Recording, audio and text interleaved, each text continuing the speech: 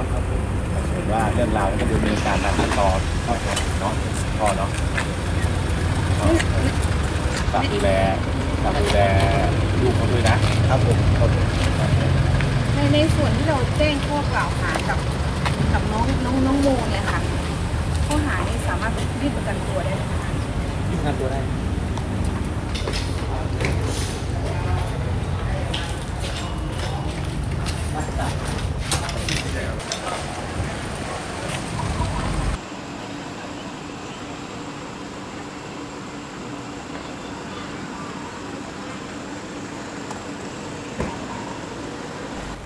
ดีที่ว่าเขายังมีชีวิตอยู่ แต่ผิดหวังที่เขาทำอย่างนี้ เราไม่คาดคิดว่าจะเขาจะทำครับ แล้วก็ขอกราบขออภัยสังคมด้วยครับ แทนลูกเลยครับ เพราะว่าไอ้ผมก็ไม่รู้ว่าเขาจะทำเช่นนี้ทำให้ทุกคนเป็นห่วงครับ ผม ผมเองก็เป็นห่วงก็ ไอ้เมื่อเรื่องราวเป็นอย่างนี้ก็ก็รับผิดครับผม ก็ไอ้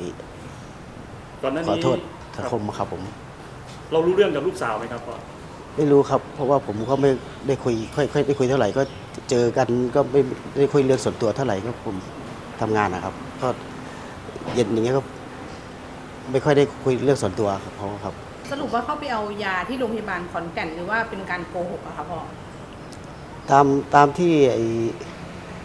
ทางเจ้าหน้าที่ตำรวจไอ้แจ้งมาข้าวไม่ได้ไปเอาครับเขาโกหกครับ เป็นการโกหกใช่ไหมคะครับผม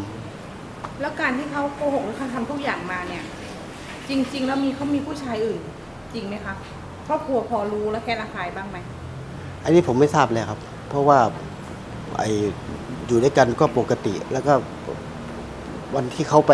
ที่เขาบอกว่าเขาไปเอายาพวกผมก็ไปทำงานครับ ไม่ไม่ไม่ไม่ไม่ไม่ครับเพราะเขาหยุดเขาเขาลาเขา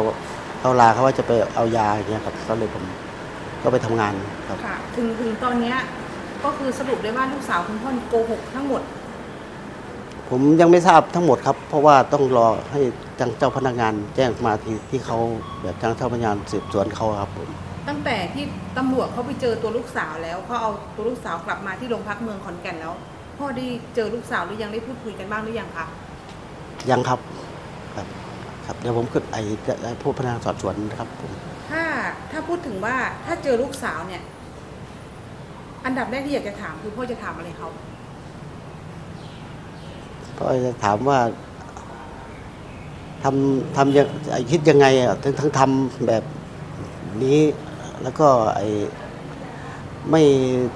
คิดถึงลูกถึงครอบครัวบ้างเหรอครับ เพราะว่าไม่คิดว่าทุกคนจะเป็นห่วง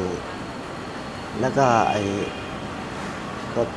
ทุกคนเป็นห่วงทำให้ทุกคนเดือดร้อนครับถือว่าเราปลอดภัยแล้วเนาะครับเห็นว่าเรื่องราวก็ดำเนินการตามขั้นตอนเนาะพ่อเนาะฝากดูแลฝากดูแลลูกเขาด้วยนะครับผมครับผมในในส่วนที่เราแจ้งข้อกล่าวหากับกับน้องน้องน้องโมเนี่ยค่ะข้อหานี้สามารถรีบประกันตัวได้ไหมคะยื่นประกันตัวได้ ข่าวสดสื่อออนไลน์คุณภาพที่มีผู้ติดตามทางโซเชียลมากที่สุดในประเทศไทยกว่า 20 ล้าน followers อย่าลืมติดตามคลิปดีๆ สาระความบันเทิง ข่าวด่วนแบบฉับไวกับข่าวสดออนไลน์ได้ทุกช่องทางนะคะ